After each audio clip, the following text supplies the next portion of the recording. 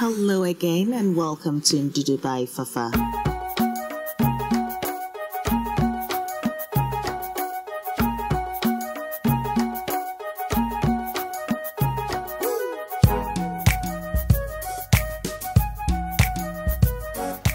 Hello everyone, it's Fafa Gilbert here and welcome to my Creative African Cooking channel Ndudu by Fafa.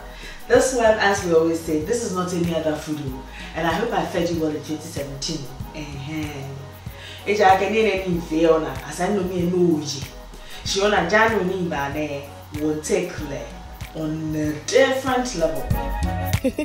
and today's dish is no exception. This dish is actually inspired by the famous Ewa Agoyin. Now, this dish actually originates from the Agoyin people of Cotonou, Benin. Now, it's also a popular dish amongst the Togolese and Ewes of Ghana.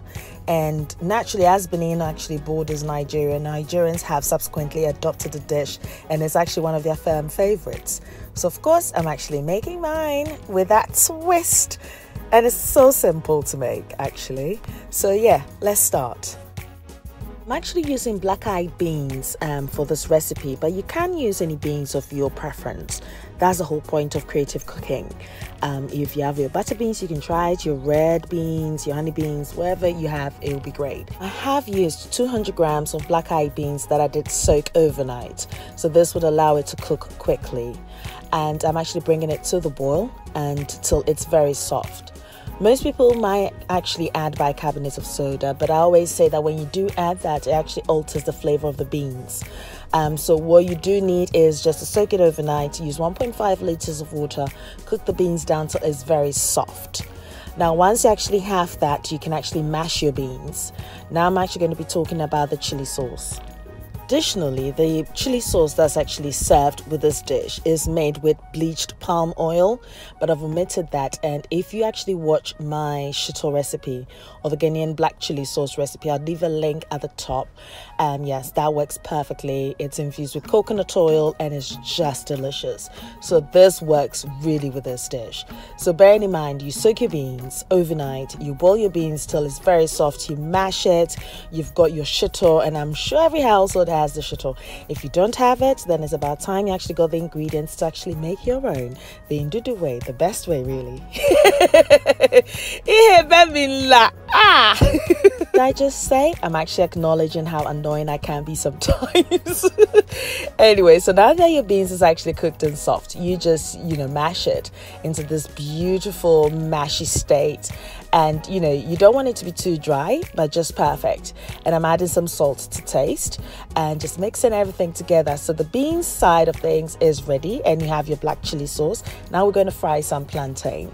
So place your preferred oil in a frying pan and place it on a medium heat. Now heat your oil up for about three to four minutes.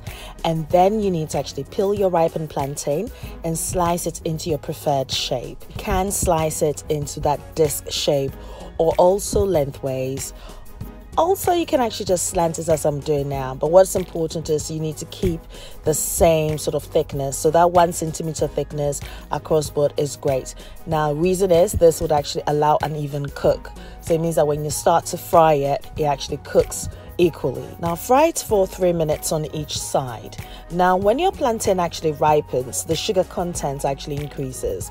So when you do fry it, after 3 minutes it starts to brown. And when it starts to brown it's quite quick. So you need to just turn it quickly. This allows an even cook. So at this point, my plantain is actually ready for me to take out. So I would actually remove the plantain. Look how beautiful this bad girl is. Mm -hmm. I remove my plantain and actually um, would place place it on a kitchen napkin to actually absorb any excess oil. You can also use a strainer to actually um, get rid of the excess oil. Um, but here we have it, the beautifully fried plantain. And all I'm left with now is to assemble this beautiful dish. This is not any other food. Indudu ogbona enyeya. So to my bowl, I'm actually adding my mashed beans, which actually is moist and steaming hot, just perfect. And then to that, I'm actually going to be scooping some of my chili sauce and adding that on top of it. So that is just beautiful. That's like black gold. Unza. Indudia Vivinalo. I know, right? It's just so easy to make. I told you. I'm surrounding this beautiful black gold with some more golden colors. And yes, why not? You need to dine as a princess or a prince or a king or a queen, whatever you'd like to choose to be. But you should always be the best of yourself. So this is just done. Look how beautiful this is. In a corner, palm wine boy